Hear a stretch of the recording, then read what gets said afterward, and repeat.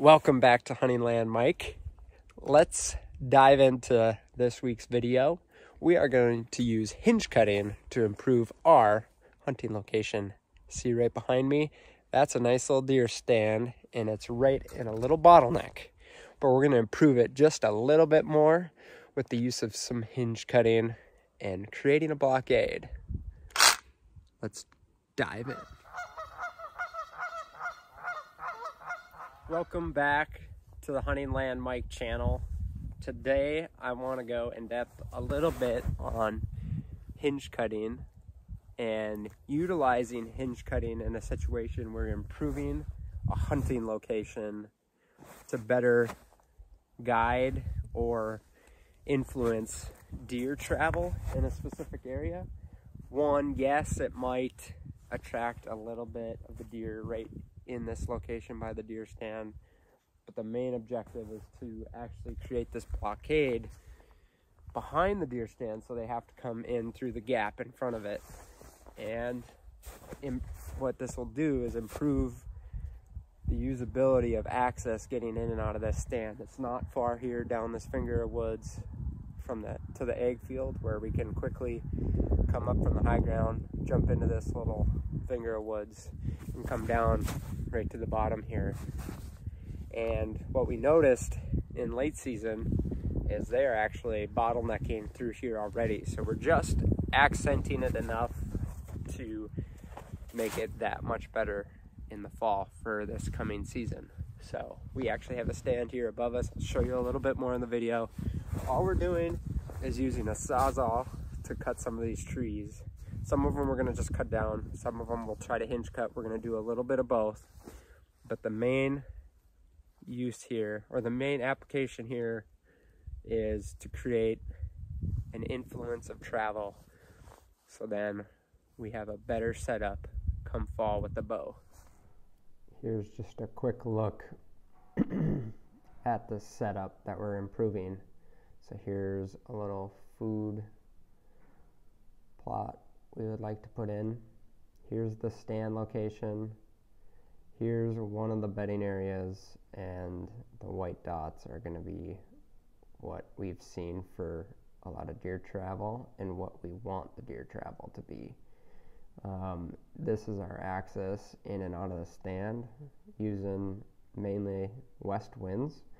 And right here on this purple line, this is going to be where we do our our barricade work and hinge cutting in here and just blocking this end of this finger off. So, I mean, they'll probably come up around here a little bit, but a lot of times they're going to come down on the bottom of this finger, hit this pinch, and hit this food plot and work their way to the south or to the north. So in this location, we actually had kind of a natural hinge cut of a tree that's kind of blocking this spot off. Um, we got some more back in there too, and up high. But this is, we're gonna just thicken this up here. The goal here is to make it almost more impenetrable. This is just the location I used in late season. Um, and it's really easy to access quickly. You know, you have some terrain features where it kind of, the terrain follow, falls down here into this finger of woods and this finger of woods goes up to the ag field and that's up on high ground. So you can quick access from the road over there and just jump right down into the stand here with minimal intrusion. We are up in this stand location. Just as a double check here before we start cutting a bunch of trees. But right here down to my left we're going to kind of improve this so there's kind of a blockade in here we want to kind of influence so they come down on this trail in front of us and around this point. Then there's another food plot this way. There's probably food off that way too, but a lot of times they bed down into the river bottom. We just want them to influence up to here and then travel away.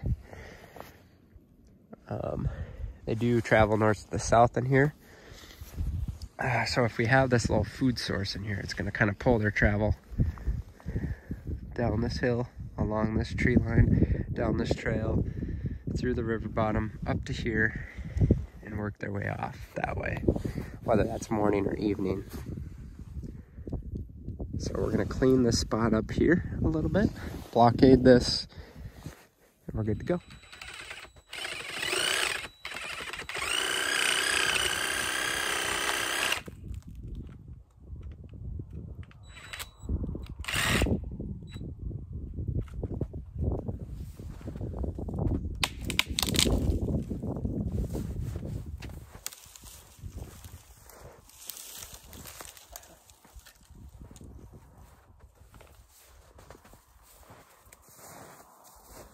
So that one we hinge cutted, hinge cut the branch itself. It was already kind of in the way of the of the stand location, but this will also add some cover here at the base of the tree because this will leaf up hopefully and add that extra layer of cover. Let's keep going.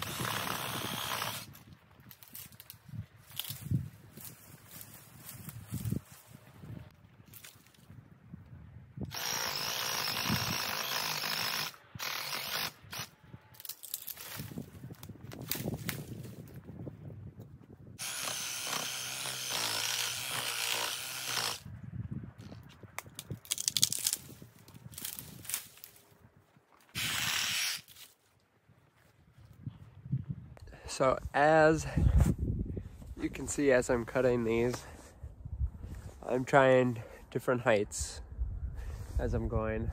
One, just to manipulate kind of where I want all the trees to lay and what elevations and just kind of snack, stacking them together in there basically. And then when I'm cutting, I'm cutting only about 60% of the way through. So you're not cutting that whole cambium layer, layer on the tree. So the so that's gonna add that barrier layer here, that cover for access and orienting the travel. Um, a lot of these tree species in here aren't really preferred by deer, I don't think. So, you know, we're we're really just trying to stack it in really thick in here everywhere. And if we kill a tree in this location, we're not super worried because the goal here really isn't to really provide the actual cover of food. We want to we want to actually improve the food and cover in other areas, not right here, right in the heart of our stand. So that branch right there, we're gonna leave this tree standing for now, but this other branch out here, we're gonna use that to lay over those other ones I just hinge cut behind me, just to add in those other layers hopefully this one you'll be able to see a little bit more of what I'm doing.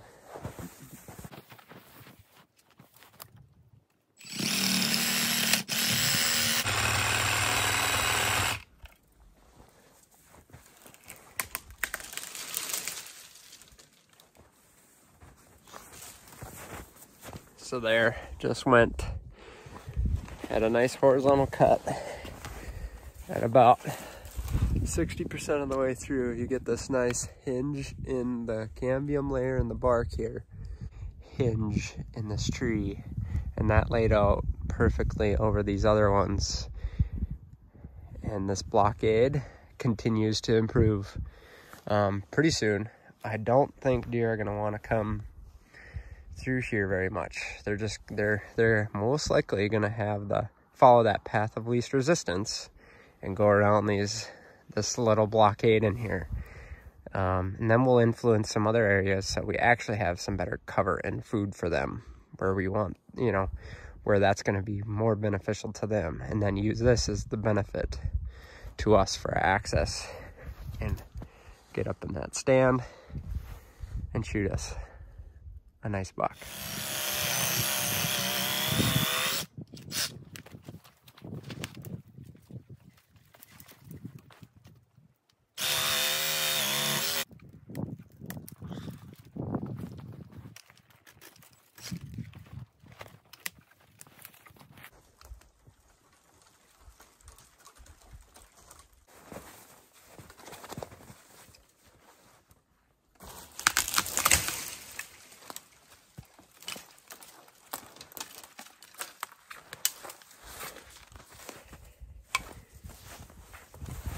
This is why I'm targeting the smaller trees.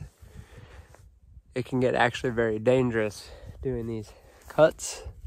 And see things can get hung up on other trees pretty easy if there's deadheads you know those widowmakers and not seeing that when they're coming down and things falling on you.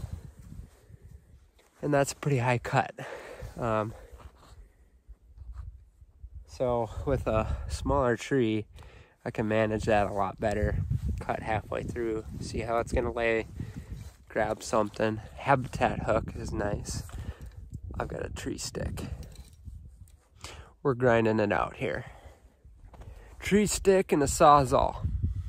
Make it happen.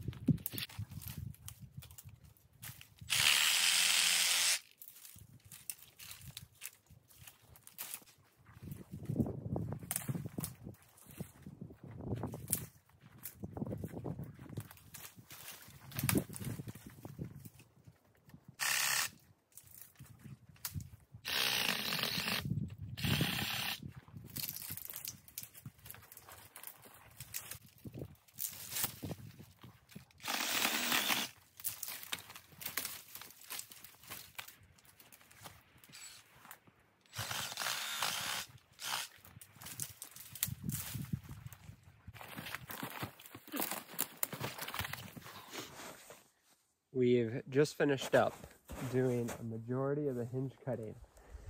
And you can tell that the canopy is open a ton in here, which I'm excited to see what the response is and like actually getting a bunch of green up and thick growth in here. Just a little recap of today's video. All you need is some simple tools. You can use a chainsaw. Sawzall works great.